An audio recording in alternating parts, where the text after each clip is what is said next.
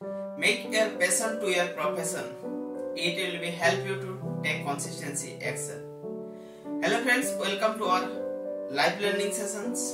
आज हम बात करने जा रहे हैं हम लाइफ को लेके हम पैशनेट कैसे बन पाएँगे एंड और पैशनेट को हम प्रोफेशन में कैसे कन्वर्ट कर पाएँगे एंड और प्रोफेशन को हम लाइफ में प्रॉपर वे में इन्वेस्टमेंट करके हम लाइफ में फाइनेंशियल फ्रीडम को कैसे अचीव कर सकते हैं आज हम जिस बुक से बात करने के लिए जा रहे हैं मनी मेकिंग लेक बुक से बात करने के लिए जा रहे हैं that things are important book about in our life हम लाइफ में कैसे हम आसानी से और चीज़ को अचीव कर सकते हैं एंड लाइफ में कंसिस्टेंसी के साथ और चीज़ हम लाइफ में अचीव करेंगे एंड उसी के साथ हम कंसिस्टेंसी रह पाएँगे. That is the most important part about in our life yes life is simple create simplify आज हम डिस्कशन करने वाले हैं मनी लेके बुक को फॉलो करके कैसे हम लाइफ में ग्रो कर पाए और उससे पैशन से ही हम इनकम जनरेट करें। बहुत सारे ऐसे लोग हैं जैसे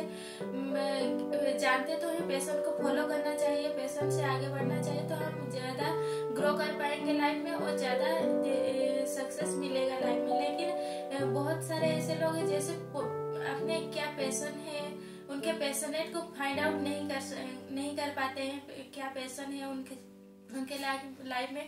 तो बहुत सारे लोग ऐसे जैसे खुद के पैशन को फाइंड आउट नहीं कर पाते हैं और दूसरे जो बोलते हैं उनके लाइफ में वही उसको फॉलो करते हैं। लेकिन वो उस का, उस काम को तो करते हैं लेकिन उसमें सेटिस्फाई नहीं हो पाते हैं उस काम को करने के लिए। उनका इतना इंटरेस्ट नहीं जनरेट होता। इसीलिए हमेशा बोला बोला जाता है कि अपने पैशनेट को फॉलो करो।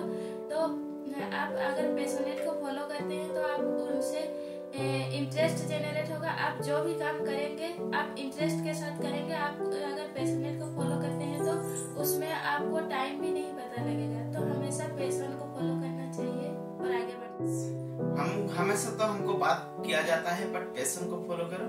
बट हम पैशन को कैसे फाइंड आउट करेंगे? That is also important things important part about in our life first of all initial moment में हमको पैशन के बारे में कुछ भी पता नहीं है। कौन सा हमारा पैशनेट है? क्या चीज़ हमारा पैशनेट है? राइटर ने एक एग्जांपल देके हमको बताया है बताए हैं।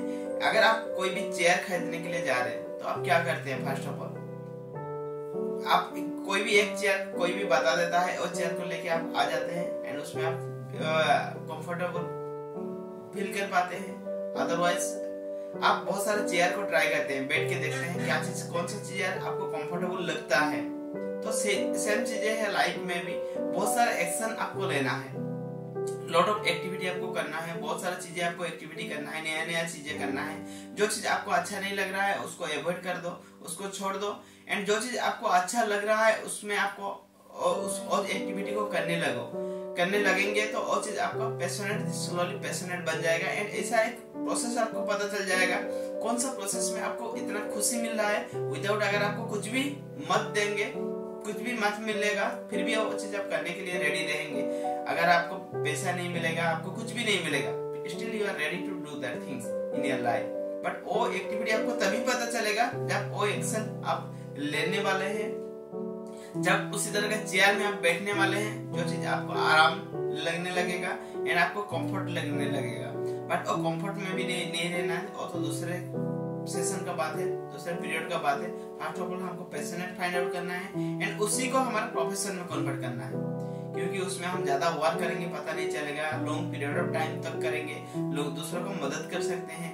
उससे हम इनकम जनरेट अगर करना शुरू करेंगे तो फास्ट जनरेट कर पाएँगे फास्टिंग एंड ज़्यादा जनरेट कर पाएँगे। First of all money generate करने के बाद हम ऑलरेडी बात कर चुके हैं। अगर आप मनी जनरेट करना चाहते हैं तो स्टार्टअप के बारे में बात कर चुके हैं। कौन सा स्टार्टअप आपको करना चाहिए किस तरह का लोग रहते हैं यूनिवर्स में। और सारा चीज़ पहले वीडियो में हम अब बात कर चुके हैं। आप मनी को कैसे इन्वेस्टमेंट करेंगे? आप स्टॉक मार्केट में इन्वेस्टमेंट कर सकते हैं म्यूचुअल फंड में इन्वेस्टमेंट कर सकते हैं। अगर आप स्टॉक मार्केट का शेयर का नॉलेज नहीं है तो आप म्यूचुअल फंड में इन्वेस्टमेंट कर सकते हैं। म्यूचुअल फंड में भी there is S I P systematically investment plan उसमें आप इन्वेस्टमेंट कर सकते हैं। सिस्टमेटिकली इन्वेस्टमेंट प्लान अगर आपको थोड़ा सा भी आइडिया नहीं है तो कोई भी म्यूचुअल फंड में आप सिस्टमेटिकली इन्वेस्टमेंट प्लान करें। उसमें क्या रहेगा, आप एवरी मंथ और एवरी वीक में आप सिस्टम कर देंगे, जो सिस्टम में आपका इन्वेस्टमेंट होते रहेगा। It long period of time और अमाउंट ऑफ़ मनी क्योंकि मार्केट हमेशा अप डाउन रहता है एंड डाउन में भी वो चीज़ आपका खरीदते हुए आएगा एंड वो चीज़ लेटर मूवमेंट में जब ग्रो होगा, वो मनी आपका अमाउंट में बढ़ने वाला है and definitely it will be systematically plan there is a lot of powerful plans it will be about a better financial freedom about in your life अगर 2000 अगर पर महीने में भी अगर आप सेव करने लगेंगे तो that is the for the 20 years 30 years के लिए तो उसके बाद और अमाउंट ऑफ़ मनी आपका करोड़ों में कन्वर्ट हो जाएगा. That is the power of the systematically plan उसी दिशा में आप इन्वेस्टमेंट कर सकते हैं. लोग आज का बहुत सारा सिस्टम निकल रहा है। क्रिप्टो करेंसी बहुत सारी चीज़ें ऐसा रहता है।